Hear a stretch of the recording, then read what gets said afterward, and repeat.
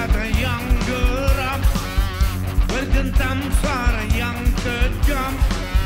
Terperangkap lalu di dalam kepedihan.